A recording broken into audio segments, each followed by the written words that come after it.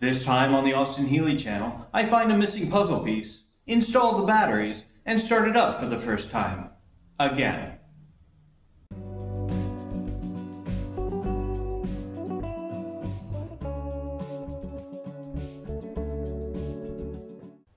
Have you ever been doing a jigsaw puzzle and gotten down to like the last four pieces and realized that there's five holes? And then you find that missing piece on the floor underneath the table? That's kind of where I am right now. I have a few more things to do on the car, but I was missing a piece. And that piece I ended up finding almost in my own neighborhood. What piece is it? It's the generator. I'm on Facebook Marketplace and I, like to just browse and see what's what's there and uh, every once in a while pops up something very interesting. And there was a listing for a bunch of Austin Healey 100 parts. And I went, hmm, I have an Austin Healey 100. So I started looking and there's a generator in the picture. I went, dude, I need a generator. I need the right generator. I had planned on putting an alternator in the season one car and using that generator in season two, but you know, I do like to keep things original. I saw this this post. It had these parts, had a generator, and it was located uh, nine minutes from my house. So I'm like, dude, I gotta check that out. So I I wrote to the guy. We had we we met up uh, it turns out that he's he uh, he used to own the green BN1 that I followed around in one of the rallies, but he sold that because he needed room for other toys, and he had all these parts left over. Uh, parts that had taken off the car. It kind of looks like parts, uh, lots of the parts look like parts where he upgraded you know, he took the generator off to put in an alternator. He took the distributor off to put in a 321. Just lots of stuff like that. I went over and, you know, I we, we had a great conversation. He's a really nice guy. Uh, and I ended up buying the generator and got all the other parts to go with it. I immediately went home and, and bench tested the generator and it works. It's it's a bit scuffed up, so we're going to uh, do some some cosmetic work on it. I am going to go ahead and take it all apart to to clean it up, uh, but it's the right part for the right for the right place on the car. and I'm just super thrilled to have it, and all the extra parts I got are pretty freaking cool too. The the brake drums you see here, those are actually aluminum.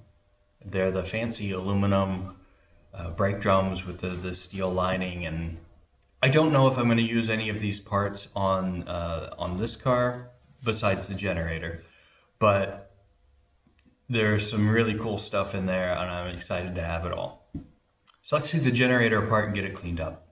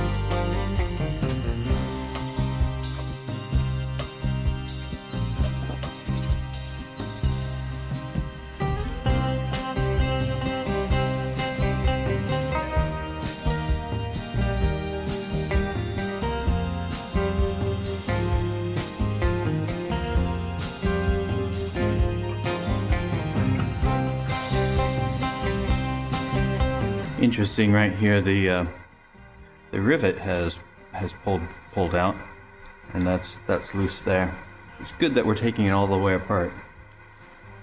we wouldn't have found that.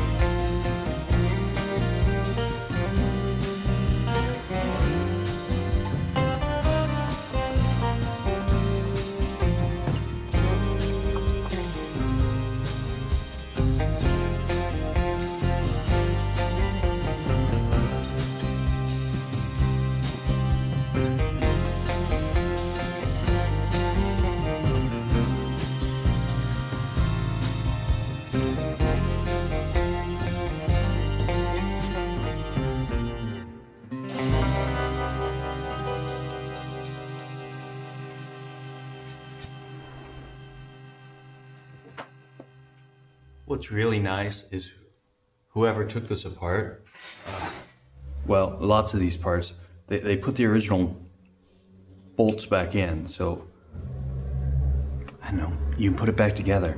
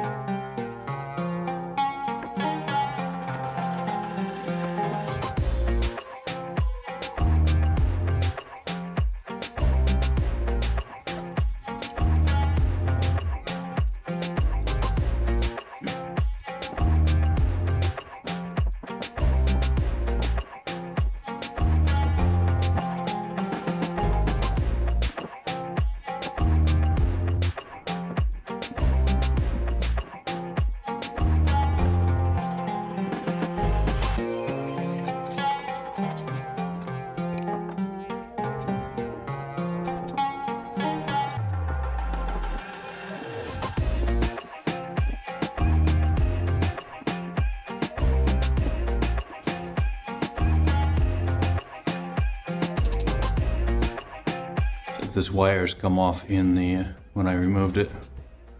I'll have to fix that. Brushes look good. Nice and beefy still.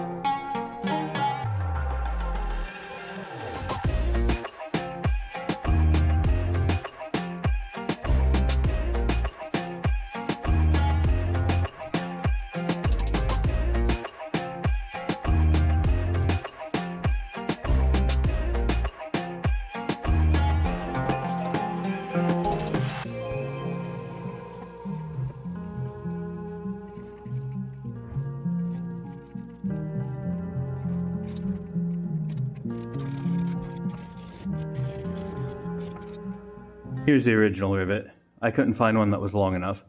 So what am I gonna do? Wait, sit around and wait for a parts order to come in? No.